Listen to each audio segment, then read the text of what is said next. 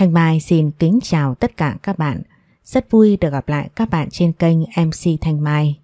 Trong khung giờ phát sóng quen thuộc hôm nay, mời các bạn cùng lắng nghe tập 2, tập tiếp theo của bộ truyện ngôn tình rất hay và hấp dẫn có tên Khế ước đẻ thuê của tác giả Hoàng Chi. Ngay sau đây, mời các bạn cùng lắng nghe tập 2 của bộ truyện này nhé. Chúc các bạn nghe chuyện vui vẻ.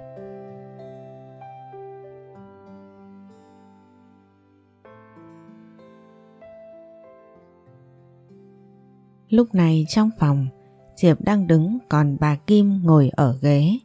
Cô rất căng thẳng vì vẻ mặt bà hơi nghiêm. Tối qua cô và Thế Bảo không xảy ra chuyện gì sao? Nghe bà hỏi đến vấn đề này cô cũng thành thật trả lời. Dạ không có. Con trai tôi say mà cô còn không tiếp cận được thì đến bao giờ cô mới có thai?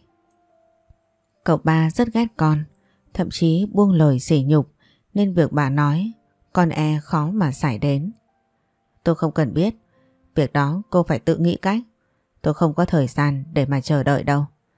Tôi đã cho thời hạn cô 3 tháng. Nếu như không được thì cô phải trả lại gấp đôi số tiền mà tôi đã bỏ ra. Số tiền quá lớn, Diệp không có khả năng để mà hoàn trả. Còn với yêu cầu bà Đặng đưa ra lại càng khó hơn. Lúc này Diệp rơi vào bế tắc. Bà cũng biết nhà con nghèo, không có tiền nên mới bị người ta lừa vào bước đường này. Cô nên nhớ tôi không lừa cô. Khế ước giấy trắng mực đen ghi đàng hoàng. Không trả tiền thì nhạc cô phải vào tù. Diệp đã có suy nghĩ nếu cô chết đi mọi việc sẽ được giải quyết. Nhưng giờ bà Kim nói thế cô không muốn ba mẹ liên lụy chịu khổ bắt buộc cô phải bỏ đi tự tôn mà Hạ quyết tâm. Con sẽ cố gắng làm điều bà muốn, mong bà đừng bắt ba mẹ con ngồi tù. Nếu như vậy, cô phải biết mình nên làm gì rồi chứ. Thật sự con không biết phải làm sao hết, chỉ nhìn thấy con thôi, cậu ba đã chán ghét. Bà Kim nhìn Diệp suy nghĩ giây lát, sau đó bà đứng lên đến mở ngăn tủ lấy gì đó. Cô cầm lấy. Nhìn gói bột trên tay Diệp thắc mắc. Đây là gì vậy bà? Tối nay thế bảo về cô hòa thứ này vào nước để con trai tôi uống. Nên nhớ tôi không biết cô làm gì nhưng phải làm con trai tôi uống nó. Tôi đã giúp cô đến bước này nếu còn không xong thì cứ đợi ngày cả nhà cô vào tù đi. Diệp, sao em đứng ngây người ra đó vậy? Nhanh mang cà phê lên cho cậu ba đi. Diệp lúc này nhớ đến lời căn dặn cũng như đe dọa của bà Kim. Bảo đã đi làm về được một lúc, anh có kêu mang cà phê lên. Cầm tay gói bột bà Kim đưa mà cô do dự. Không biết đây là gì, tại sao bà lại kêu cô cho Bảo uống. Nhưng sau đó cô nghĩ anh là con trai của bà, không lý gì bà lại tổn hại. Cuối cùng Diệp đã bỏ gói bột đó vào trong cà phê. Dạ, giờ em đem lên đây chị. Ừ, nhanh đi, cậu ba không thích làm việc lề mề đâu. Sau đó Diệp bưng tách cà phê lên lầu. Đến cửa phòng cô đưa tay gõ cửa. Cậu ba, tôi mang cà phê lên cho cậu. Vào đi. Diệp mở cửa đi vào. Cô đưa mắt nhìn thì dừng lại nơi bàn làm việc. Bảo đang ngồi ở đấy. Bất giác trong lòng trở nên căng thẳng. Hít một hơi sâu từ từ cô tiến đến. Cậu ba, cà phê của cậu. Đẩy xuống đó cho tôi rồi ra ngoài. Bảo nói nhưng mắt vẫn không rời khỏi màn hình máy tính. Diệp cẩn thận đặt ly cà phê xuống bàn. Xong rồi cô nhích người đứng sang một bên. Lúc này nhìn anh từ góc nghiêng, cô phải công nhận Bảo rất đẹp trai. Những điểm trên gương mặt từ mắt đến mũi, cả môi, tất cả gần như là hoàn hảo. Cô tự hỏi, tại sao lại có một người đẹp đến vậy chứ? Bảo lúc này mới dừng tay gõ phím lại. Anh đưa tay cầm tách cà phê lên uống. Cũng phát hiện Diệp còn đứng. Anh cất giọng lạnh lùng. Sao còn chưa đi? Tôi chở cậu uống xong cà phê rồi mang xuống luôn. Lúc làm việc tôi không thích có người khác làm phiền. Cậu ba cứ làm đừng để ý đến tôi. Tôi nói mà cô không hiểu hả? Bảo cau mày khó chịu. Còn Diệp ở lại để xem liệu anh có bị làm sao hay không. Vì cô không biết thuốc bà Kim là gì. Cô thụt lùi về phía sau không cẩn thận đụng vào bình gốm. Cả người cô loạn choạng, sắc mặt vì hoảng sợ mà tái mét. Ngay khi cô tưởng mình đã ngã theo cùng bình gốm, thì Bảo đã kịp đứng lên đưa tay kéo lại. Cô nằm gọn trong lòng anh. Mùi hương cơ thể sộc vào mũi làm tâm trí cô hỗn loạn. Trái tim đập nhanh liên hồi. Cô đúng là không từ thủ đoạn. Bị Bảo đẩy mạnh trong tình thế không kịp phản ứng, Diệp ngã xuống sàn. Vì lấy tay chống đỡ nên bị đau, gương mặt nhăn lại khẽ suýt xoa. Thấy cô như vậy, Bảo biết mình hơi mạnh tay, ánh mắt có phần dịu lại. Định đưa tay đỡ cô lên, thì anh cảm giác cơ thể mình nóng một cách bất thường. Là một người nhạy bén, anh nhận ra vấn đề nằm ở ly cà phê mình vừa uống. Đáy mắt hiện lên tia giận dữ, anh ngồi xổm xuống, bóp lấy xương hàm cô mà gằn giọng. Cô dám hạ thuốc tôi. Diệp ngơ ngác không hiểu lời Bảo nói là gì. Cô nén đau nói. Cậu ba nói hạ thuốc gì tôi không biết. Đến giờ mà cô vẫn còn không thừa nhận. Nếu cô đã muốn đến vậy thì tôi để cô được như ý. Bảo túm lấy cô quăng xuống giường, đè lên người cô hôn ngấu nghiến. Lúc này Diệp cố đưa tay đẩy anh ra nhưng không được. Còn anh bị kìm chặt. Có thể vì tác dụng của thuốc nên anh có phần hung hãn như thể nuốt chửng môi cô. Là con gái chưa trải qua tình cảm nam nữ nên hành động của Bảo khiến cô hoảng sợ. Sau đó lại có cảm giác lạ lẫm. Dưới sự tấn công mạnh mẽ cô chẳng thể làm gì ngoài cam chịu. Sức của một cô gái làm sao so với đàn ông. Huống gì việc này là sớm muộn, nếu không cả cô và ba mẹ phải vào tù. Số phận đã định cô không thể thay đổi được. Lúc này đây Diệp đành cắn chặt răng, nhắm mắt buông xuôi, một giọt nước mắt khẽ rơi nơi khóe mắt cô. Không biết qua bao nhiêu giải vò, thêm trải qua đau đớn của lần đầu, lúc này Diệp ngồi co do trên giường gục đầu mà khóc. Cô phải kìm nén để không phát ra tiếng tránh để Bảo thức giấc. Qua một lúc cô mới gión xén bước xuống giường, nhặt lại quần áo dưới sàn mặc vào, rồi rời đi ra khỏi giường. Chưa ổn định được tâm trạng, cô lại đối mặt với bà Kim ở lối cầu thang lên tầng 3. Giống như đã dự tính trước, bà hỏi. Con trai tôi đã ngủ với cô rồi đúng không? Diệp không trả lời bà Cô nghĩ khi nhìn thấy bộ dạng này của cô, bà cũng đã có đáp án cho mình rồi. Việc cô muốn biết bây giờ là gói thuốc đó là gì mà thôi. Bà nói con biết thuốc mà bà đưa đó là thuốc gì? Tôi thấy để tự cô câu dẫn con trai tôi ngủ với cô là không thể. Vì thế tôi mới đưa ra hạ sách để chuốc thuốc con trai tôi. Mọi việc đã diễn ra thuận lợi. Giờ chỉ còn chờ xem cô có thai hay không mà thôi. Giờ Diệp mới hiểu, Bảo đối với mình là do thuốc. Chỉ là cô không biết tại sao bà Kim lại muốn cô có thai mà làm đến mức như vậy. Nếu con không có thai thì sao? Vậy thì cô phải cầu trời để mình may mắn có thai. Nếu không thì hoàn trả gấp đôi số tiền cả nhà cô ở tù. Sau đó Diệp thẫn thờ bước từng bước chân nặng trĩu lên cầu thang. Về đến phòng cô ngồi phịch xuống ôm mặt khóc. Cuộc đời của cô bây giờ không khác gì khoảng không tăm tối, mù mịt, không có tương lai. Sáng hôm sau tỉnh giấc, Bảo trông thấy vết máu đỏ trên ga giường thì nhớ lại chuyện xảy ra tối qua. Gương mặt anh trở nên u ám, bàn tay siết chặt, sau đó đưa tay kéo tấm chăn ra khỏi người. Bảo bước chân xuống giường rồi đi thẳng vào phòng tắm. Anh đứng dưới vòi nước rồi ngửa mặt mình lên, Từng đợt nước xối xả phun xuống.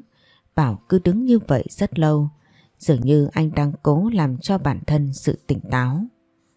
Cúi mặt xuống Anh đưa tay vuốt nước trên mặt. Ánh mắt sắc bén trở nên lạnh lẽo. Cô cả gan tính kế tôi ư? Giọng nước lạnh không làm cho cơn giận dữ trong lòng giảm bớt Cứ nghĩ đến chỉ để ngủ với anh, Mà cô hạ thuốc, Thì Bảo không kìm được sự phẫn nộ, mà đưa tay đấm mạnh vào tường. Anh tự hỏi sao một người mang vẻ ngoài ngây thơ trong sáng, lại có lòng dạ tầm cờ đến vậy. Lúc này bà Kim đang ở trong phòng chuẩn bị đi xuống dưới nhà, thì Bảo mở cửa phăng phăng đi vào với vẻ mặt đầy sát khí. Có phải mẹ kêu cô ta hạ thuốc con? Sao thế? Mới sáng làm gì mà con nổi giận với mẹ vậy hả? Mẹ còn chưa trả lời con. Việc đó do cô ta cầu xin mẹ đây chứ. Ý mẹ là thế nào? Ban đầu cô ta đến đây là vì tiền, nhiệm vụ là đẻ thuê. Sinh xong là có thể rời khỏi. Nhưng nếu không thể hoàn thành cô ta phải đền tiền. Tất nhiên vì lẽ đó phải tìm đủ mọi cách để tiếp cận con. Có thể thấy không khả thi nên mới tìm đến mẹ, mà đề ra phương án chuốc thuốc con. Đương nhiên mẹ không từ chối, vì mẹ đang cần một đứa cháu trai. Con không nghĩ mẹ lại tiếp tay cho một người tâm cơ như vậy. Mẹ cần cháu đến mức như thế sao? Con nghĩ mình tạm thời sẽ ra ngoài ở. Nhà con không ở, mà lại muốn dọn ra ngoài là sao hả? Hiện tại con không có cách nào để mà đối diện với mẹ sau những việc mà mẹ đã làm. Thậm chí là nhìn thấy cô ta trong ngôi nhà này. Thế bảo, mẹ làm tất cả cũng vì con. Nếu con không có con trai, thì các cổ đông trong tập đoàn sẽ lấy đó làm lý do để buộc con rời khỏi chiếc ghế chủ tịch. Kim Long là tâm huyết của nhà họ Kim bao đời. Mẹ không thể để đến đời con lại rơi vào tay người ngoài. Như vậy mẹ sẽ không còn mặt mũi gặp ba con và ông bà tổ tiên của Kim ra. Các cổ đông có quyền gì để buộc chủ tịch như con rời khỏi chức vụ chứ? Mẹ có biết mình đang nói một điều rất vô lý. Đó là sự thật. Con cũng biết lúc Kim Long thành lập dưới sự quản lý của nhà họ Kim chúng ta. Cùng đó là sự góp sức của người trong gia tộc. Bọn họ đều có cổ phần với vai trò cổ đông. Mọi thứ sẽ không có gì. Nhưng đến khi ba con trở thành chủ tịch thì bọn họ lại bộc lộ xã tâm, giảm ngó đến vị trí đứng đầu. Nhưng điều đó là không thể nào, vì nhà họ Kim nắm giữ số cổ phần cao hơn. Sau đó bọn họ nhắm đến việc chúng ta nhiều đời đơn truyền mà tất cả họ đã âm thầm bàn tính cùng nhau thống nhất một điều khoản. Người kế nhiệm chức vụ chủ tịch Kim Long trước khi sang tuổi 31 phải có con trai. Lấy lý do nó thể hiện cho sự hưng thịnh của người đứng đầu gia tộc cũng như đối với Kim Long. Nếu không buộc phải biểu quyết đổi chủ tịch. Mẹ không nói với con vì mẹ nghĩ dù gì đến năm 30 tuổi con cũng sẽ lấy vợ và sinh con. Nhưng hiện tại lại không như thế. Hiện tại Mỹ Trinh lại đang điều trị chưa biết khi nào hồi phục nên mẹ buộc phải làm như thế. Mẹ mong con hiểu cho sự khổ tâm của mẹ. Mấy lão hổ ly đó ngồi không hưởng lợi lâu quá rồi chán thì phải. Bọn họ đã cấu kết thành một phe không dễ đối phó. Hiện tại có xã tầm đi nữa, chỉ cần con có con trai, bọn họ có muốn cũng không thể làm gì được chúng ta. Con tự biết nên làm gì mà. Con phải cẩn trọng để phòng họ. Còn về con Diệp, bây giờ trong thời gian chờ đợi cô ta có thai, mẹ sẽ sắp xếp cho cô ta ở chỗ khác, không để con nhìn thấy như vậy có được không? Bảo trầm lặng một lúc rồi nói. Mẹ muốn làm thế nào thì mẹ làm. Giờ con phải đến tập đoàn. Vài ngày tới có thể con không về nhà. Con đi đâu? Mẹ nói đến vậy mà con vẫn giận mẹ sao thế Bảo? Bảo không trả lời mà rời đi. Bà Kim thử người, lộ vẻ buồn phiền. Một lúc sau, bà mới đứng dậy đi ra khỏi phòng. Xuống đến phòng khách thì Mùi hỏi. Bà ăn chưa để tôi dọn? Con Diệp đâu rồi? Em ấy ở trong phòng ăn đó bà. Vào kêu cô ta ra đây tôi bảo. Dạ tôi đi ngay. Mùi đi vào phòng ăn một lúc thì Diệp ra tới. Cô đứng bên cạnh bà Kim hỏi. Dạ bà kêu con. Từ giờ cô không cần làm những công việc này nữa. Tạm thời cô dọn ra nhà kho sau vườn bà ở. Mọi việc ăn uống cô tự túc. Chờ xem cô có thai, tôi sẽ có sắp xếp khác. Hạn chế tối đa không để con trai tôi nhìn thấy cô. Diệp không lấy làm bất ngờ. Đối với cô lúc này như thế cũng tốt. Xảy ra chuyện tối qua trong mắt bảo cô là một cô gái bất chấp liêm sỉ. Đã có thành kiến sẽ càng căm ghét cô lắm. Nếu mà tiếp tục công việc cũng khó. Dạ, bà nói sao con xin nghe. Được rồi, giờ tôi kêu con Mùi đưa cô ra ngoài nhà kho. Sau đó Diệp phải ra nhà kho ở phía sau vườn. Ở đây đựng nhiều đồ bề bộn, cô phải dọn gần cả ngày mới xong. Rất may có mùi phụ giúp, nhìn thành quả của mình, Diệp vui. Tự dưng cô cảm thấy ở đây lại thoải mái.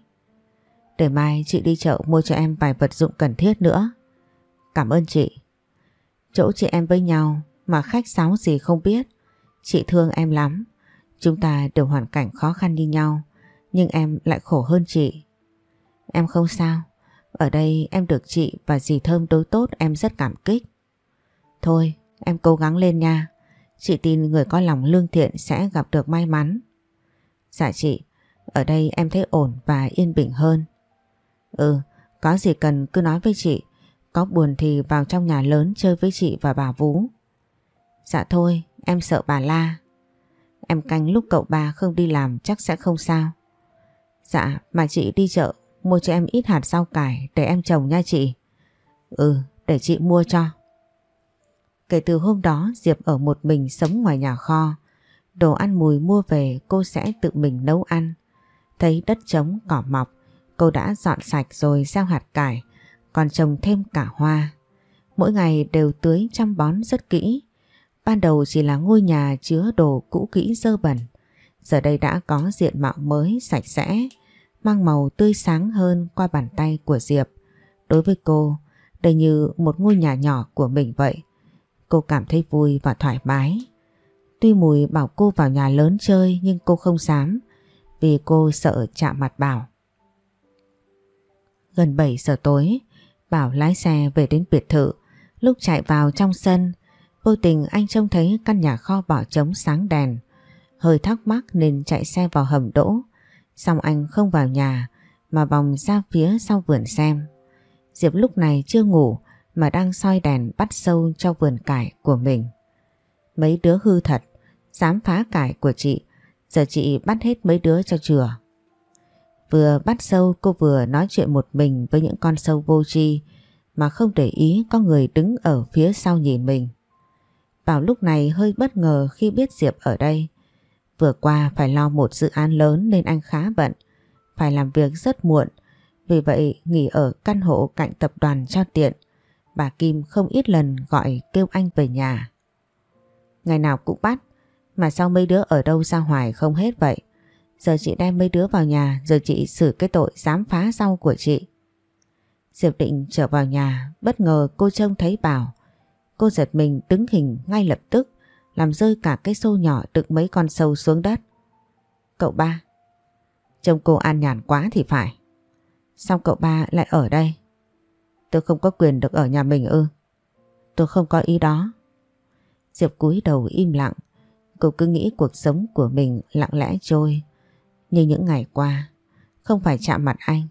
Vậy mà cũng không tránh khỏi. Tôi thật không biết trên mặt cô có bao nhiêu cái mặt nạ. Cậu ba muốn nghĩ về tôi thế nào cũng được. Giờ tôi ở đây không để cậu ba trông thấy như ý cậu muốn rồi mà. Diệp nói rồi bỏ đi nhanh vào nhà. Chưa được mấy bước Bảo đã nắm tay cô giữ lại anh gằn giọng. Cần gì phải nghĩ vì những thủ đoạn của cô đã chứng minh cô là loại người thế nào rồi. Tham tiền đến rẻ mạt. Đúng, tôi rẻ mạt không có liêm sỉ. Cậu ba sỉ nhục tôi thế nào tôi cũng chấp nhận. Nếu không còn gì nữa cậu ba vào nhà đi. Đừng ở chỗ này không lại bẩn người cậu ba mất. Bảo cười khinh bỉ. Cô làm như mình oan uổng lắm vậy. Chẳng phải cô rất muốn ngủ với tôi sao? Tôi sẽ để cô tọa nguyện. Không cần dùng kế thấp hèn, hạ thuốc tôi đâu. Cậu muốn làm gì? Cậu buông tôi ra đi. Diệp chống cự cố thoát khỏi anh nhưng vô ích. Bảo lúc này ấn vai ép cả người vào vách gỗ của ngôi nhà. Cô đừng có giả bộ nữa. Cô muốn con thai, để được tiền lắm mà, tôi sẽ giúp cô. Một lần chưa chắc có, nhưng nhiều lần sẽ có. Đừng mà, tôi xin cậu ba. Nhìn cô khóc đáy mắt bảo thoáng dao động nhưng giày lát lập tức bị lớp băng dày đông cứng lạnh lẽo. Lại muốn giở thủ đoạn vô ích thôi. Tôi không sẽ để bị cô lừa đâu. Dứt lời bảo cúi xuống phủ lên môi cô, anh hồn rất mạnh, như thể đang chút hết thịnh nộ lên cô. Diệp chịu đau, đưa tay để bấu víu, nhưng không may trúng vào chiếc lưỡi liềm. Cô dùng để dọn cỏ treo ở tấm vách. Vài phút trôi qua, Bảo mới rời khỏi môi cô. Lúc này anh mới thấy trên môi cô có vết rách. Có thể lúc nãy anh hơi mạnh bạo. Ánh mắt chợt lóe, tia xót xa. Anh đưa tay định chạm lên, thì Diệp quay đầu tránh né. Nhục mạ dày vò như thế, đã đủ với cậu ba rồi chứ. Đừng có mà dở giọng đó với tôi. Dù tôi có làm gì, cô cũng là đáng. Do cô tự chuốc lấy. Theo tôi vào trong. Bảo nắm tay Diệp để kéo cô vào nhà. À. Khi cô la lên, anh cũng đã nhận ra bất thường ở tay cô. Lập tức kéo cô nhanh vào trong nhà. Có đèn sáng anh mới thấy rõ bàn tay cô ướt đẫm máu, dính sang cả tay của anh. Tay cô sao thế kia? Lời nói như thể quan tâm của Bảo, nhưng Diệp lại bài xích. Cô đem tay mình giấu ra phía sau. Không có gì đâu cậu ba. Bảo nhìn cô vẻ mặt u ám, sau đó không nói gì mà bỏ đi ra ngoài. Diệp thấy vậy mới thả lỏng người. Cô ngồi xuống ghế đưa tay mình lên, vết cắt rất bén, máu vẫn chưa ngừng chảy. Cô khẽ suýt xoa, ở đây không có thuốc khử trùng và bông băng để xử lý vết thương. Trong nhà lớn chắc có nhưng cô không muốn phiền đến mùi, mà nguyên do chính là cô sợ Bảo. Đứng dậy Diệp đi rửa tay, đụng nước làm cô rất rát. Cô đang làm cái gì vậy hả? Tiếng nói lớn của Bảo làm cô giật mình. Quay lại đã thấy anh đang đứng trong nhà. Chưa kịp phản ứng vì sự quay lại bất ngờ thì Bảo đã đi đến cầm lấy tay cô ra khỏi vòi nước. Sắc mặt u ám của anh đã dọa Diệp sợ. Không dám nhìn thẳng mà cúi đầu nhỏ giọng. Sao cậu ba còn quay lại? Việc đó không đến lượt cô quản. Nhà tôi, đến hay đi lúc nào là quyền của tôi. Mà tôi không trở lại làm sao biết cô lại còn dùng cả khổ nhục kế thế này. Ý cậu là sao tôi không hiểu. Hành hạ bản thân để lấy sự thương hại sao? Tôi chỉ muốn làm sạch máu thôi. Sao tôi lại phải hành hạ mình? Càng không lấy sự thương hại từ ai hết. Vậy ư, nói nghe thành cao lắm. Nhưng những việc làm của cô thì đi ngược lại. Tôi nên nói cô diễn giỏi hay nhiều thủ đoạn. Như vậy cậu ba càng nên tránh xa tôi mới phải. Cô đừng tự nâng cao bản thân mình quá. Rõ ràng rất chán ghét cô. Thái độ bất cần càng khiến anh chướng mắt. Nhưng nhìn vết thương trên tay cô Bảo lại thấy khó chịu. Tự mà xử lý bằng bó. Bảo hộp dụng cụ y tế xuống bàn rồi Bảo bỏ đi. Lúc này Diệp có hơi khó hiểu trước việc làm của anh. Chẳng phải rất ghét cô hay sao? Vậy mà quay lại chỉ để đem thuốc sát trùng để cô xử lý vết thương. Mặc cho Bảo có thái độ ghét bỏ, thậm chí buông lời nhục mạ, giả khinh. Nhưng hành động đó của anh lại cho cô thấy được anh không hẳn xấu như cô đã nghĩ. Gạt bỏ những ý nghĩ trong đầu mình, Diệp bắt đầu rửa sát trùng vết thương rồi băng lại. Sau đó cô tắt đèn đến giường ngủ. Sáng sớm hôm sau, mặc dù tay đau nhưng cô vẫn phải tưới nước cho vườn rau. Định xong sẽ vào nấu tạm gói mì để ăn sáng, thì mùi từ nhà lớn đi ra. Chị có đem đồ ăn sáng cho em. Coi vào ăn nha em, giờ chị đi chợ. Chị không cần mang cho em đâu, bà chủ biết lại không hay. Không sao đâu, bà Vũ nấu nhiều, nhà cũng không ăn hết. Bỏ lại phí nên chị đem cho em ăn, khỏi phải nấu mất công. Dạ em cảm ơn chị. Mà tay em sao lại băng thế kia? Em lỡ tay bị lưỡi liềm cắt trúng. Sao không cẩn thận gì hết vậy, có sâu không em? Cái này phải khử trùng bôi thuốc vào cho nhanh lành. Vết thương cũng cạn, vài hôm là lành thôi chị. Hồi ở quê em bị suốt ấy, nên quen rồi. Tội nghiệp em quá, con gái mà chịu vất vả sớm quá. Do số của em nó như thế. Ừ, thôi em coi ăn sáng đi, chị đi chợ. Dạ.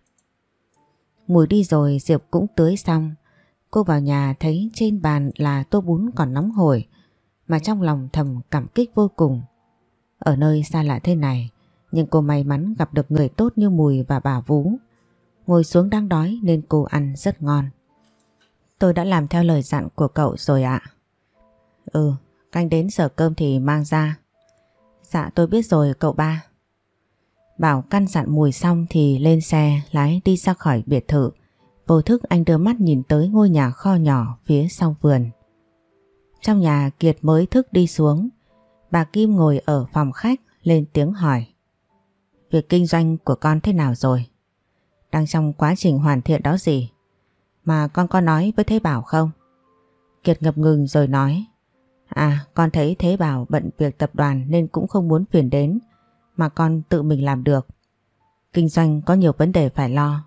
Có Thế Bảo xem góp ý kiến sẽ tốt hơn. Dì cứ chờ xem, con sẽ cho dì thấy con cũng có năng lực. Ừ, con thành công thì dì mừng cho con. Ủa, mà con nhỏ dì kiếm về để sinh con cho Thế Bảo đâu rồi mà con không thấy? Ừ, dì cho nó ra nhà kho ở rồi. Sao vậy dì? Thế Bảo không muốn thấy nó trong nhà. Mà thôi, chuyện này con đừng quan tâm. Nghe xong ánh mắt Kiệt lóe sáng, vẻ mặt như suy tính điều gì đó. Diệp không biết sao Mùi lại đem cơm cho cô không thiếu bữa nào. Mặc dù cô nói mình có thể tự nấu ăn, nhưng Mùi nói nhà dư đồ ăn bỏ cũng phí. Nghe vậy cô cũng không nghĩ gì nhiều. Lớn lên trong nghèo khó nên cô có tính tiết kiệm, không lãng phí. Trời sẩm tối, toàn bộ đèn trong khuôn viên biệt thự được mở đèn sáng. Diệp lúc này đang ngồi ở ghế trước mái hiên. Cô đưa mắt nhìn lên bầu trời. Nỗi nhớ nhà nhớ ba mẹ lại âm ỉ trong lòng cô. Ba ơi, ba đã khỏe chưa? Giờ ba mẹ thế nào? Con nhớ hai người lắm. Tội nghiệp chưa? Nghe tiếng người nói Diệp giật mình nhìn đến. Cô bất ngờ khi thấy Kiệt. Sao anh lại ra đây? Nhìn em mà anh tội nghiệp quá. Thằng Bảo nó ghét em như vậy. Thì làm sao em có thai được? Chỉ bằng để anh giúp cho. Nhìn vẻ mặt đều cắng của Kiệt, cô lập tức đứng lên. Cô đi nhanh vào nhà định đóng cửa, nhưng Kiệt đã kịp đưa tay chặn lại. Anh đi đi, không tôi nói với bà chủ đó. Gì ở trên phòng em định nói bằng cách nào hả? Khôn hồn ngậm miệng anh còn thương. Anh ta dùng sức đẩy tung cánh cửa rồi bước hẳn vào nhà, đưa mắt nhìn quanh rồi trách lưỡi. Chỗ này là cho người ở sao? Kệ tôi, ở đây dơ bẩn lắm anh đi đi. Không sao, có người đẹp ở cùng, dù là liều tranh cũng thành thiên đàng mà. Kiệt dùng vẻ mặt thèm khát nhìn Diệp, cô sợ hãi lùi về phía sau. Bên ngoài lúc này nổi lên những tiếng sấm chớp, báo hiệu trời sắp đổ mưa. Anh đừng có tới gần đây, tôi la lên đó. Em la đi, la khô họng cũng không ai đến đâu. Ngoan ngoãn, anh còn nhẹ nhàng. Nói rồi, anh ta nở nụ cười thô tục. Nhìn mà cô phát tởm. Cô đưa mắt tìm đồ phòng vệ. Chưa kịp Kiệt đã nhào đến ôm lấy cô. Buông tôi ra. Đến đây để đẻ thuê, mà còn ra vẻ gái nhà lành. Ngủ với thằng Bảo hay với anh thì cũng vậy mà. dáng phục vụ anh tốt. Có khi anh nói với dì một tiếng. Em sẽ không phải sống ở nơi tồi tàn này. Tôi không cần, anh là đồ khốn. Chửi đi, Em càng chửi anh đây càng cao hứng. Đối với Bảo cô có thể cam chịu vì rằng buộc tờ khế ước kia và cả ba mẹ mình. Nhưng còn Kiệt thì không. Dùng hết sức lực cô chống cự đến cùng. Bàn tay cô đã cào trúng mặt anh ta. Giò đầu mà Kiên nổi điên giáng cho cô một bàn tay. Chát. Tao nhẹ nhàng không muốn thì đừng trách. Buông tôi ra cứu tôi. Bên ngoài trời đổ mưa lấn át đi tiếng kêu của cô. Lúc này Diệp gần như tuyệt vọng. Cô tự hỏi có phải ngay cả ông trời cũng muốn dìm cô xuống địa ngục. Nước mắt cô khẽ rơi, cô khóc cho số phận lênh đênh của bản thân mình. Soạc, Kiệt xé rách phần áo trên cổ cô. Ánh mắt của anh ta lồng lên như một con thú. Xem cô như miếng mồi chuẩn bị vồ vập. Trong lúc hoàn toàn tắt hy vọng, Diệp quyết định thả cắn lưỡi chết cũng không để cho anh ta làm nhục. Đúng lúc cánh cửa mở toang. Dầm. Bảo lao vào túm lấy Kiệt kéo ra. Còn sáng cho anh ta một nắm đấm vào mặt. Mày dám đánh anh. Kiệt vừa dứt lời đã gánh chịu thêm một cú đấm khác. Tiếp tục không dừng tay. Trông anh vô cùng đáng sợ, giống như ác quỷ. Bảo, em tha cho anh đi. Anh sẽ không động vào cô ta nữa đâu. Mặc cho Kiệt van xin. Bảo vẫn không dừng tay. Diệp co do sợ hãi một góc, lúc này mới đến ngăn lại. Cô sợ nếu cứ đánh tiếp sẽ xảy ra án mạng. Cậu ba đừng đánh nữa. Bảo gạt tay cô ra. Chuyện của tôi cô đừng có quản. Vừa trải qua nỗi kinh sợ, giờ nghe Bảo lớn tiếng làm cô ủy khuất mà rưng rưng nước mắt. Trông thấy cô như vậy, ánh mắt chứa đầy sát khí của anh phần nào giảm bớt. Anh cút nhanh cho tôi. Đùng. Cùng đó là âm thanh phát ra khi Bảo phát tiết, dùng tay đấm mạnh xuống mặt bàn. Kiệt lúc này mặt mày bầm tím, nhìn Bảo với ánh mắt thù hằn. Tao sẽ vào nói gì phân xử. Anh cứ việc, tôi đây sẽ chờ. Kiệt gượng dậy rồi bỏ đi. Bên ngoài lúc này trời vẫn còn mưa. Cô đúng là dễ dãi, ai ngủ đều được. Vốn trong lòng đang có sự cảm kích vì Bảo kịp thời giải nguy cho mình. Thì lời anh nói chẳng khác nào gáo nước lạnh rội thẳng vào mặt mình. Mà cũng đúng, trong mắt anh vốn dĩ cô là người con gái không có tự trọng, xấu xa. Vốn đã biết rõ, nhưng cô vẫn thấy đau nhói ở tim, như có một vật nhọn đâm vào. Sự mặn đắng nghẹn ở nơi cổ họng làm cho cô phải lặng im. Không lên tiếng vì tôi nói đúng quá chứ gì. Nếu tôi không đến kịp lúc, đến khi cô thật sự có thai chưa chắc đã là con của tôi.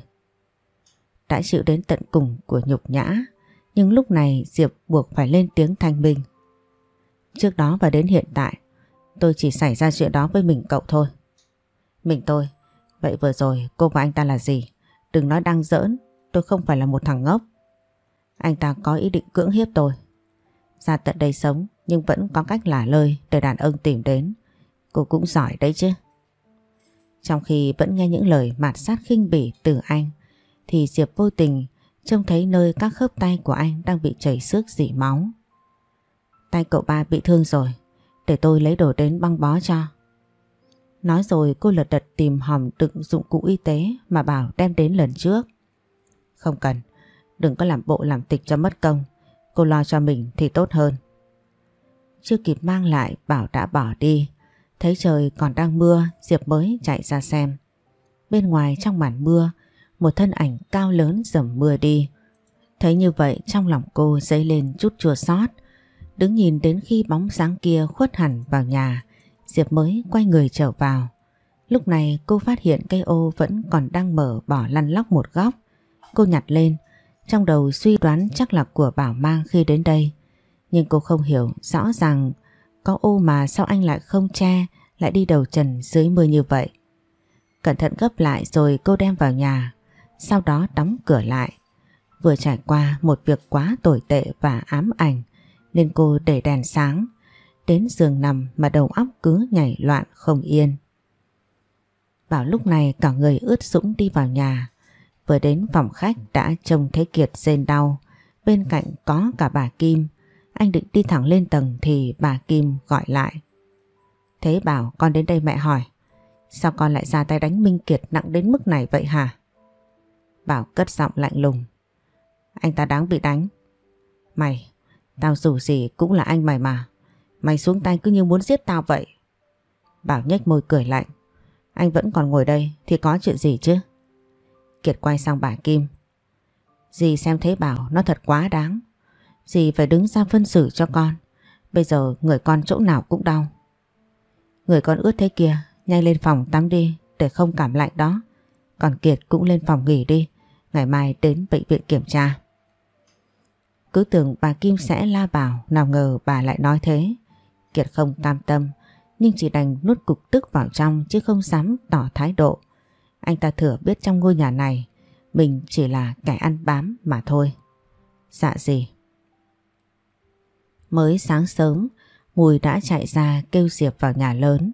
Cô đoán có thể là vì chuyện tối qua, cũng lường đến nên cô không lấy làm lo sợ mà theo Mùi đi vào nhà. Vào đến phòng khách, cô đã thấy bà Kim ngồi chờ sẵn. Cô đi đến cuối đầu thưa. Dạ, bà chủ kêu con. Tối qua cô đã làm gì để cho thằng Kiệt và Thế Bảo bất hòa đánh nhau như thế hả? Con không làm gì hết. Không làm gì, bỏ tiền đưa cô về đây không biết là họa hay phúc cho nhà tôi nữa đây. Tôi cứ nghĩ để cô sống ở ngoài đó sẽ yên ổn. Nhưng giờ anh em tụi nó lại mâu thuẫn, nguồn cơn đều do cô. Bây giờ tôi quyết định sẽ đưa cô đến chỗ khác ở, không ở đây nữa. Diệp bất ngờ, không biết bà đưa cô đi đâu. Ở đây mọi thứ với cô hoàn toàn lạ lẫm. Từ khi đặt chân lên thành phố này, cô chỉ ở đây chưa hề đặt chân đi ra ngoài. Nhưng rồi cô suy nghĩ, thế như vậy cũng tốt cho cô. Không ở đây sẽ tránh được một số chuyện không mong muốn. Con xin nghe theo sự sắp xếp của bà. Cô ta không phải đi đâu cả. Bảo từ trên lầu đi xuống, diện trên người bộ vest công sở được thiết kế riêng. Nổi bật ở cổ tay đang đeo một chiếc đồng hồ Rolex phiên bản giới hạn. Bước chân khỏi bậc thang anh ta đi đến ghế sofa ngồi đối diện bà Kim. Con nói như vậy là thế nào? Bà Kim lên tiếng hỏi vì câu nói vừa rồi của con trai. Diệp cũng đang khó hiểu, không biết bảo có ý gì. Mẹ không cần phải đưa cô ta đi đâu hết, cứ để cô ta ở đây. Không phải ban đầu con không muốn trông thấy nó, giờ mẹ muốn đưa nó đến nơi khác con lại không đồng ý là sao? Mẹ thật không hiểu con đó thế bảo. Chẳng phải như vậy, đúng ý muốn nhanh có cháu của mẹ rồi sao? Thì mẹ cũng đang chờ xem nó có thai. Nói chưa hết ý, bà Kim cảm thấy lấn cấn, sau đó hỏi lại. Con vừa nói là sao mẹ chưa hiểu. Bảo không trả lời bà, anh nhìn đến Diệp ánh mắt sắc lạnh đó làm cô run sợ. Lập tức cúi đầu tránh né. Mẹ cứ làm như lời con nói là được giờ con đến tập đoàn. Lúc này bà Kim mới nói Thôi được rồi, con trai tôi đã nói như thế thì cô tiếp tục ở ngoài nhà kho sau vườn đi. Vừa đi được vài bước Bảo dừng chân lại, anh cất tiếng. Để cô ta ở trong nhà, tiếp tục công việc trước đó đi. Nói xong, anh đi thẳng ra ngoài. Bà Kim nhìn với vẻ mặt suy tư. Còn Diệp lúc này vẫn chưa tin tại sao Bảo lại giữ cô lại còn cho ở trong nhà. Chẳng phải anh ghét cô lắm sao? Vậy giờ con sẽ ở đâu ạ?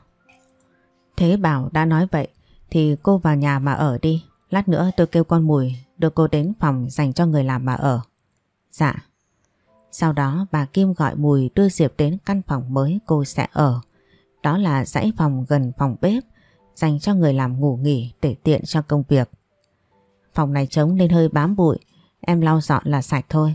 Mà sao bà chủ lại kêu em vào nhà ở rồi? Em cũng không biết. Phận tôi tớ chủ nói sao thì mình nghe vậy thôi chị. Ừ, thôi em coi dọn đi, chị đi làm việc. Dạ. Diệp không biết điều gì đến tiếp theo với mình nữa. Cô trầm mặt buồn bã. Cô cảm thấy tiếc những ngày ở nhà kho. Ở ngoài đó cho cô sự yên bình, đồng óc phần nào thoải mái, không căng thẳng áp lực như trong đây. Còn được làm những điều mà mình yêu thích. Vườn cải cô chồng chỉ mới ươm mầm, bỏ công chăm bón. Đối với cô, những thứ này chính là niềm vui cho cô những giây phút thư thái ở tâm hồn. Dù đã vào nhà nhưng cô sẽ thường xuyên ra chăm sóc chúng. Bà Kim lên lầu rồi tới phòng Kiệt. Chuyện xảy ra tối qua bà cũng khó xử. Một bên là cháu, một bên là con trai, bà cũng không biết phải làm sao cho tròn. Nhưng bà không muốn vì chuyện này mà dẫn đến tình anh em bất hòa. Định đưa Diệp đến nơi khác là xong, nào ngờ Bảo lại đổi ý. Bà thở dài phiền muộn. cốc cốc cốc Kiệt là gì đây? Một lúc sau Kiệt trong phòng đi ra mở cửa. Gì? Nhìn gương mặt sưng phù, nhiều chỗ bầm tím mà bà Kim không khỏi sót. Con còn đau nhiều không? Hay để dì kêu bác sĩ đến khám cho con? Hơi đau chút thôi gì, mà lát con sẽ đến bệnh viện kiểm tra. Thế bảo sao lại mạnh tay như thế chứ? Mà con đừng giận em nha. Có gì mâu thuẫn thì cùng nhau nói chuyện hóa giải. Con là một tay dì nuôi lớn. Dì thương con không khác gì thế bảo. Nếu hai đứa bất hòa dì làm sao vui được. Không sao đâu dì, con hiểu mà. Tuy thế bảo sai, nhưng làm anh con sẽ không nhỏ nhen để bụng đâu. Mà chuyện tối qua là thế nào? Sao Thế Bảo lại đánh con? Thế Bảo không nói gì nghe sao? Con cũng biết tính Thế Bảo rồi đó. Có nhiều việc gì cũng rất phiền muộn. Suy tính lo đủ đường mà nó đâu có hiểu. Như còn trước ham vui, giờ chịu trí thú làm ăn, dì cũng mừng. Thế bảo có người mẹ như gì em ấy thật có phúc. Còn con thì không được như vậy. Ba mẹ sớm rời bỏ con. Con đừng buồn. Tuy con là cháu, nhưng dì xem như con. Dì biết con thiếu thốn tình cảm. Dù dì đã cố gắng bù đắp, nhưng không thể so với ba mẹ được. Vì vậy, một phần dì để con thoải mái làm điều mình thích. nhưng vô tình khiến con mải mê ăn chơi. Mà giờ con chịu thay đổi dì rất vui. Dạ, con sẽ không để dì buồn phiền vì con nữa đâu. Còn chuyện tối qua dì cũng đừng bận tâm. Nó không ảnh hưởng tình cảm của anh em con đâu. Con nói vậy dì yên tâm rồi. Vậy con coi đến bệnh viện kiểm tra nha, dì về phòng. Dạ. Bà Kim đi rồi, Minh Kiệt cũng đóng cửa phòng lại. Gương mặt lập tức thay đổi, ánh mắt lộ vẻ gian xảo. Buổi chiều khi đã xong công việc, Diệp mới chạy ra phía sau vườn để tưới cho khoản rau cải của mình. Xong rồi cô ngồi một lúc để nhổ cỏ. Hôm nay cao thêm một chút nữa rồi, thời gian ngắn nữa sẽ ăn được. Khi cô vẫn còn đang chăm bẵm cho từng gốc cải, thì lúc này ngoài cổng lớn, một chiếc xe Mercedes G63 chạy vào trong biệt thự. Cửa xe mở ra, một người đàn ông bước xuống, sau đó đi thẳng vào trong. Bà Kim từ trên lầu đi xuống, lúc chưa Kiệt bảo đi bệnh viện khám mà đến giờ chưa thấy về. Gọi điện không được, làm cho bà lo lắng không yên. Vừa xuống tới phòng khách, bà thấy có người ngồi ở ghế đang uống trà. Do quay lưng về phía bà nên không biết được là ai. Bà lên tiếng hỏi Mùi đang lau dọn cách đó không xa. Nhà có khách sao? Bà chủ, có cậu Luân, bạn của cậu ba đến chơi. Cùng lúc người đàn ông ngồi ở ghế quay người lại gật đầu chào. Bác gái. Luân hả con? Con về nước lúc nào? Mà nhà có khách đến sao không lên báo tôi biết vậy hả? Bà Kim lên tiếng trách mùi, Luân mới nói đỡ. Do con cản không để chị ấy lên báo cho bác đó ạ? Lâu lắm con mới đến nhà chơi, mà để con ngồi một mình như vậy bác ngại quá. Con với gia đình đâu xa lạ gì đâu bác, không cần phải câu nệ đâu. Con và Thế Bảo nhà bác là bạn thân của nhau mà. Mấy năm nay con ở nước ngoài nên bác cũng không gặp được. Lần này về nước con sẽ ở luôn không đi nữa. Vậy hả? Mà bác nhớ con học y đúng không? Dạ con đang là bác sĩ tiến sĩ ngành y huyết học trong một bệnh viện ở nước ngoài. Con giỏi thật, mà sao đang làm ở nước ngoài mà con lại chuyển về đây? Ông nội bây giờ sức khỏe yếu, nguyện vọng của ông ấy muốn về quản lý bệnh viện cho ông ấy. Thôi, cũng cứ nghe theo ông nội con để ông ấy vui, dù gì con cũng được một tay ông nội con nuôi lớn. Một phần cũng muốn ông vui nên con mới về, chứ chuyện trong nhà cũng xào xáo không yên vì điều này bác à. Bác hiểu mà, nhưng ông nội con tin tưởng muốn giao bệnh viện cho con thì con cứ nhận, đừng quan tâm đến những người khác. Con hiểu rồi, con cảm ơn bác. Có gì đâu, bác chỉ đứng trên cương vị của một người đi trước đưa cho lời khuyên thôi. Quyết định vẫn là do ở con. À mà con về Thế Bảo có biết không? Con muốn tạo bất ngờ cho cậu ấy nên không báo trước. Mà Thế Bảo lúc nào mới về hả bác? Chắc một lát nữa Thế Bảo về đến. Thời gian này ở tập đoàn nhiều việc, Thế Bảo còn không về nhà. Tính ra làm chủ tịch như cậu ấy cũng không nhàn rỗi gì. Bà Kim cười. Một mình Thế Bảo phải quản lý cả tập đoàn Kim Long rất bận rộn và áp lực. Phải chi bác sinh được thêm cho Thế Bảo có em thì phần nào san sẻ cùng. Đằng này chỉ có một mình, nhiều khi bác buồn thấy tội cho Thế Bảo. Nói ra Thế Bảo rất giỏi, từ lúc đi học cậu ấy đã đứng đầu, thành tích học tập luôn xuất sắc nên bác cũng đừng phiền muộn rồi ảnh hưởng sức khỏe. Mà con nói con học ngành huyết học, vậy cho bác hỏi về vấn đề này một chút. Chuyện gì bác cứ nói đi, nếu trong khả năng con biết con sẽ giải đáp cho bác. Nhà họ Kim bác mấy đời đều đơn truyền, việc này là do yếu tố di truyền hay thế nào hả con? Vấn đề bác nói cũng hơi phức tạp, con không thể trả lời. Muốn biết chính xác thì thấy bảo phải làm kiểm tra xét nghiệm gen, từ đó mới phân tích tìm ra được nguyên nhân ạ. Ừ, vậy để lúc nào bác kêu Thế Bảo đến chỗ con để kiểm tra. Dạ, cậu ấy có thời gian rảnh đến con sẽ làm cho. Cảm ơn con, lát nữa ở lại dùng cơm với bác nha. Vậy con xin phép phiền nhà mình. Có gì đâu, con cũng như người trong gia đình bác nên đừng khách sáo. Lúc này Diệp từ ngoài đi vào, trông thấy có khách nói chuyện với bà Kim. Cô cúi đầu rồi định đi vào trong thì bà Kim gọi lại. Cô lại đây tôi bảo. Dạ bà kêu con. Vào trong kêu bà Vũ nấu đồ ăn nhiều hơn bình thường. Hôm nay nhà có khách. Dạ để con vào nói bà Vũ, con xin phép. Trước khi đi cô cũng thưa bà Kim và cúi đầu nhẹ với Luân. Từ lúc cô đi vào Luân vẫn không rời mắt khỏi cô. Chờ đến khi cô vào trong rồi anh mới hỏi bà Kim. Đó là ai vậy bác? À, một người làm trong nhà thôi, con đừng để ý. Hay là con gọi Thế Bảo về, về nhà sớm đi. Không sao đâu bác, lâu lắm mới về đến nhà thăm bác. Với lại con cũng rảnh nên muốn ở chơi lâu một tí. Hôm nay có con đến bác rất vui. Thôi con uống nước đi. Dạ. Luân cầm tách trà lên uống, vẻ mặt suy tư, lờ đễnh.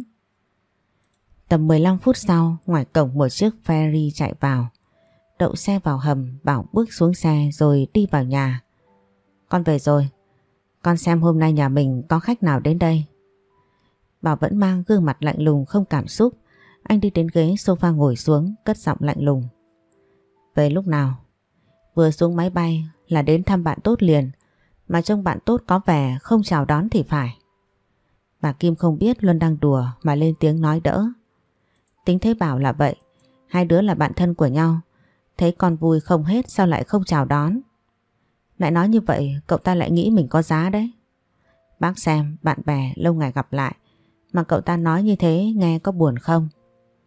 Bà Kim cười nói, Thế bảo nói vui đó Thôi, hai đứa nói chuyện đi, Để bác vào xem cơm đã dọn chưa Nói xong bà Kim đứng dậy đi vào hướng phòng ăn. Lúc này Luân quay qua đưa tay vỗ lên vai Bảo. Công việc tình cảm của cậu thế nào? Ổn, vậy mà sao không nói? Thì tôi muốn dành bất ngờ cho cậu Mà trong biểu cảm của cậu khiến tôi hơi hụt hẫng đấy. Cậu thôi đi Làm gì xa lạ lắm vậy? Chọc cậu vui thôi Chứ chơi với nhau mấy chục năm Không lẽ tôi không rõ tính cách của cậu? À mà cậu và Mỹ Trinh định bao giờ đám cưới đây hả? Rảnh rỗi thì cậu lo cho mình đi. Tôi đây đang nghiêm túc mà. Bạn bè tôi hỏi thăm mà cậu nói thế.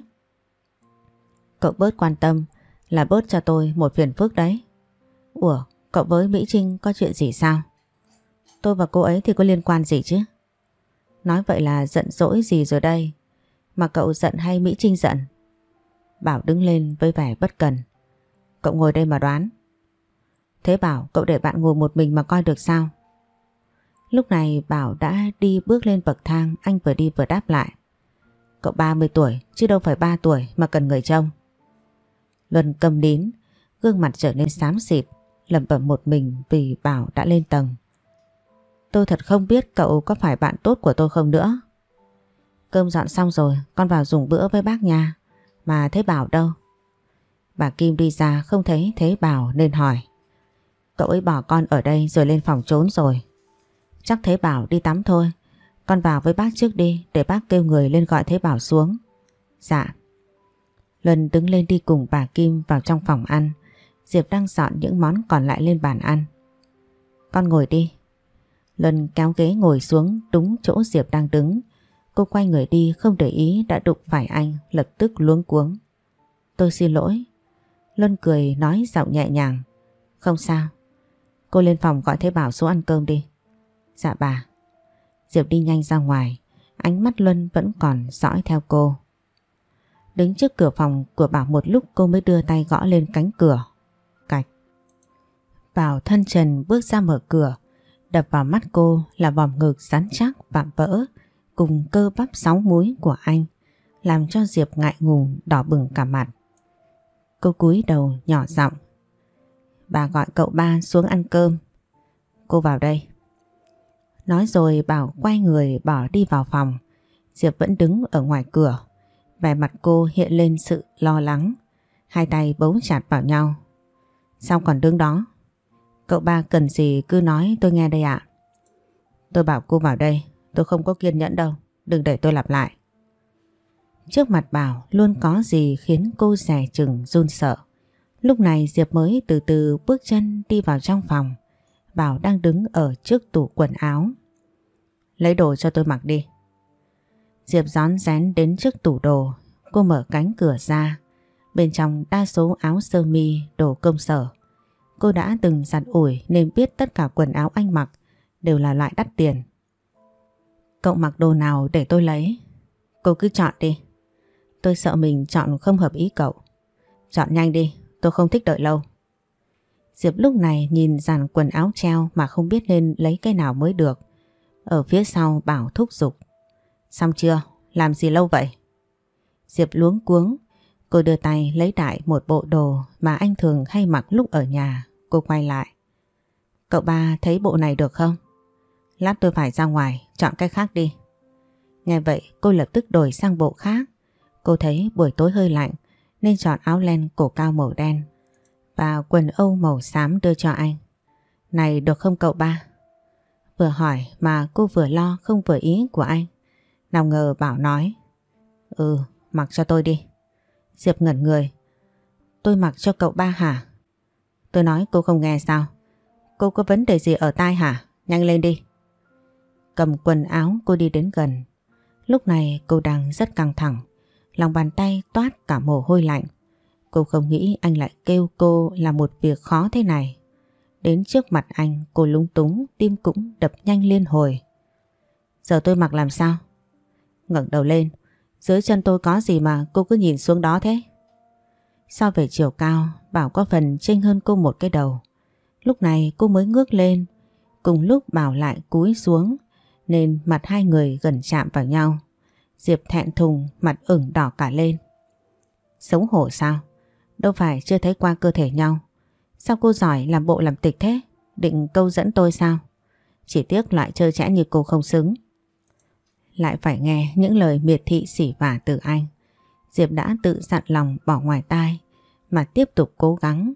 Nhưng chẳng hiểu sao cô lại cảm thấy đau nhói ở tim, khóe mắt rừng rừng muốn khóc. Nhưng cô đã kìm lại, nuốt ngược tất cả vào trong. Sao tôi dám trèo cao như cậu ba nói chứ? Tốt nhất đừng có vọng tưởng. Đừng nghĩ ngủ với tôi rồi, cô sẽ mang thai con tôi. Nhớ cho rõ, cô chỉ là người đẻ thuê, không hơn không kém. Tôi hiểu điều đó, cậu ba yên tâm. Vậy giờ tôi mặc áo vào cho cậu. Không cần, cút ra ngoài. Bảo giật lấy chiếc áo trên tay cô quăng mạnh xuống giường. Trông anh như đang tức giận. Diệp bị hành động đó làm dọa sợ nên nhanh chóng ra khỏi phòng. Cô chạy xuống lối cầu thang lại đụng phải Kiệt. Vào nhà rồi sao? Mà ai làm gì em chạy như ma đuổi thế? Không có gì. Chắc thế Bảo làm gì em đúng không? Thật ra nếu như em chịu anh sẵn sàng giúp em thoát khỏi cảnh này. Anh đừng cho mình tốt, những gì anh làm tôi vẫn còn nhớ rất rõ. Ơ kìa, anh chỉ đùa thôi mà. Diệp biết Kiệt là một người xấu xa, đầy tiện. Cô không muốn tiếp xúc với anh ta. Nhưng trong nhà không tránh khỏi chạm mặt. Anh ta lại là cháu bà Kim. Chuyện tối hôm đó là một minh chứng. Muốn yên ổn, cô cần phải đề phòng hạng người này. Giờ tôi phải đi làm việc. Nói rồi, cô chạy nhanh xuống dưới nhà. Còn Kiệt nhìn theo cười nhếch mép. Thế Bảo xuống chưa? Bà Kim lên tiếng hỏi khi thấy Diệp đi vào. Dạ cậu ba sắp xuống à? Thôi, cô đi làm việc đi. Dạ vậy con xin phép. Diệp đi đến đằng bếp coi phụ bà Vú. Lúc này Bảo từ ngoài đi vào.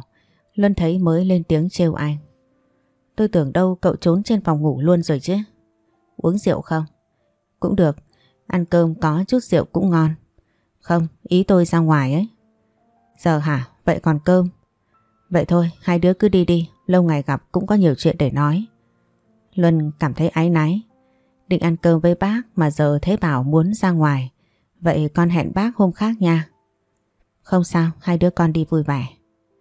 Bảo hướng mắt nhìn tới Diệp sau đó bỏ đi ra ngoài. Luân cũng đứng dậy đi theo. Bà Kim lúc này phải ăn cơm một mình, bà hỏi. Hình như vừa nãy Minh Kiệt về rồi đúng không?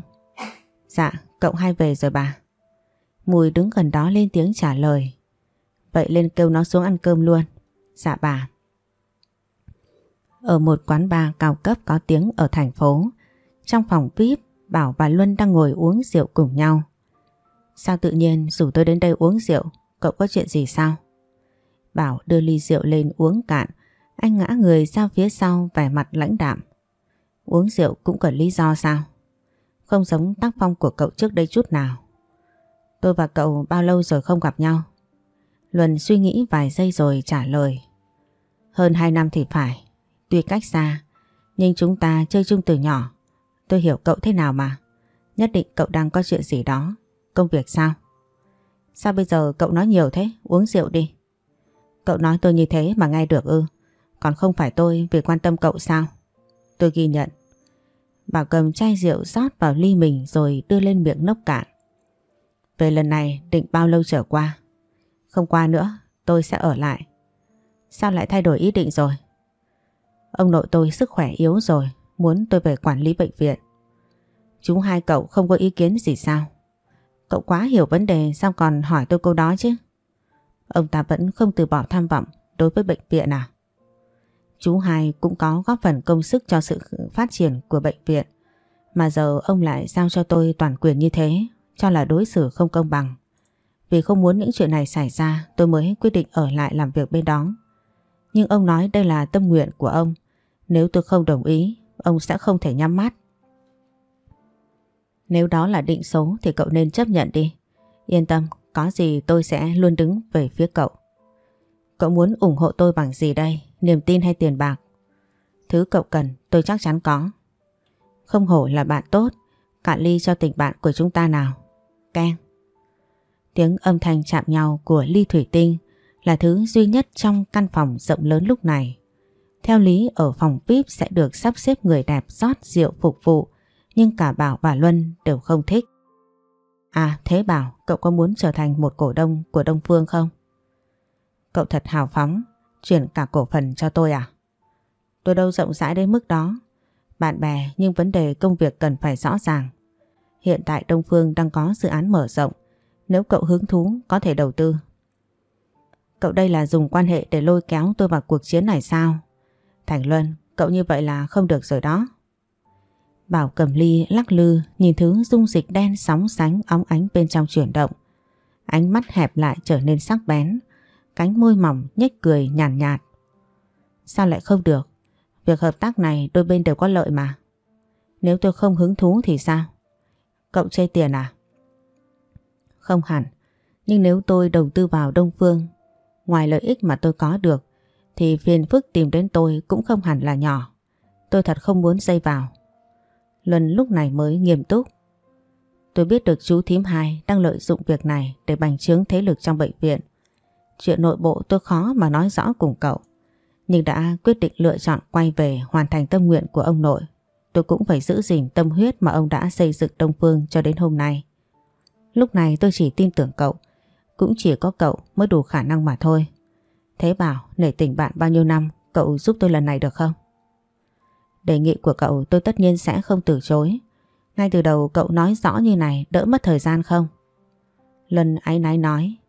Vừa gặp lại nhau đã mở miệng nhờ cậu giúp đỡ tôi cũng thấy ngại. Giữa chúng ta mà cậu còn công nệ như thế là xem thường tôi rồi. Không phải. Tôi hiểu mà. Việc đầu tư ngày mai cậu cho người gửi tài liệu sang cho tôi. Cảm ơn cậu. Hai người ngồi lại uống rượu đến hơn một giờ sáng mới rời khỏi ba. Mạnh ai nấy lên xe của mình mà lái đi. Diệp ngủ một giấc, lúc này giật mình tỉnh dậy. Cô nghe được tiếng xe từ cổng chạy vào. Cô đoán là bảo vệ. Vì vậy đã mở cửa phòng ra xem. Tới phòng khách, cô bắt gặp Bảo từ ngoài đi vào. Từ xa cô đã ngửi được mùi rượu. Biết anh say nên trong lòng nổi dậy một cảm giác sợ sệt. Cô không dám bước đến gần mà đứng yên đó nhìn. Bảo bước lên bậc cầu thang, đột nhiên khựng lại. Anh quay đầu nhìn về phía Diệp. Lên phòng tôi. Cậu ba cần gì sao? Đừng để tôi nhắc lại. Dứt lời, Bảo đi thẳng lên tầng. Diệp lúc này căng thẳng. Không biết anh kêu lên để làm gì. Đứng một lát, cô cũng đi lên theo. Tới trước phòng, cửa đang khép hờ. Cô đưa tay mở ra. Bên trong phòng không mở đèn. Cô hơi run mà lên tiếng gọi. Cậu ba có gì sai bảo ạ? Bất ngờ một cánh tay kéo mạnh lấy cô, tiếp đến cô ngã xuống giường. Một thân ảnh cao lớn nằm đè lên cô, mùi rượu nồng nặc phả vào mặt làm cô khó chịu. Cậu ba, đừng... Chưa nói hết câu, môi cô đã bị khóa chặt. Cánh môi được anh mút mạnh đến mức tề buốt, đầu óc trở nên quay cuồng mê loạn mà bị cuốn vào trầm luân. Sáng hôm sau, Diệp ở trong phòng ăn dọn đồ ăn sáng phụ mùi. Lúc này bà Kim và Kiệt đang ngồi ăn, bảo từ ngoài đi vào. Con vào ngồi ăn sáng luôn đi. Trước khi ngồi xuống ghế anh nhìn đến Diệp, chạm phải ánh mắt đó cô lập tức cúi đầu tránh né. Hình ảnh tối qua cuồng loạn hiện ra, Mặt cô nóng gian, trong đầu cô chợt nhớ lại cái ôm của anh sau khi ân ái xong. Lần đầu tiên cô cảm nhận được sự dịu dàng ấm áp từ anh, chứ không phải sự chán ghét cùng những lời xỉ vả. Qua một lúc cô mới bước xuống giường rời khỏi phòng. Mang cho tôi cà phê. Diệp bừng tỉnh cô luống cuống. Dạ tôi đem liền. Cô đi đến mang ly cà phê vừa pha xong đem đến cho Bảo. Cà phê của cậu ba.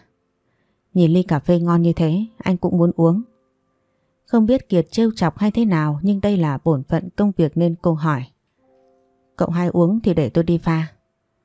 Phải chờ pha lâu lắc thế. Mà sao thế Bảo vừa kêu đã có. Do bình thường sáng cậu ba có thói quen uống nên cà phê luôn được pha sẵn. Còn cậu hai không biết lúc nào uống nên không làm trước. Thôi Minh Kiệt muốn uống thì cô đi pha cho nó đi. Vậy cậu hai đợi tôi một lát. Kiệt tỏ thái độ khó chịu. Thôi đi, muốn uống có ly cà phê mà phiền phức quá. Không muốn phiền anh có thể tự pha mà. Bảo đang ăn bất ngờ lên tiếng, Diệp lén nhìn anh. Nhà bao nhiêu người làm, mắc gì anh phải làm. Mà thôi, mất hứng rồi không uống nữa. Thôi, hai đứa tập trung ăn đi. Có mỗi việc cà phê mà cũng tranh cãi. Bảo uống ngụm cà phê rồi đứng lên. Con no rồi. Con mới ăn có chút mà. Bà Kim vừa nói xong anh đã đi ra ngoài mất. Còn Kiệt lúc này lộ vẻ cao có, dằn đũa xuống rồi đứng lên. Thôi, con cũng đến xem tiến độ đến đâu. Bàn ăn chỉ còn mỗi bà Kim, ăn vài đũa nữa bà cũng nghỉ. Coi dọn xuống đi. Dạ bà chủ.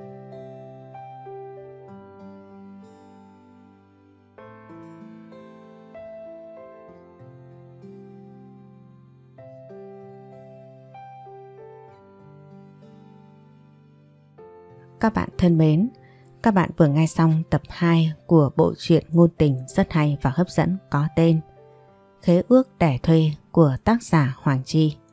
Để có thể đón nghe tập truyện mới tiếp theo, các bạn hãy nhớ đăng ký kênh MC Thanh Mai và nhấn vào chuông thông báo cũng như like và chia sẻ để mọi người cùng nghe chuyện nhé.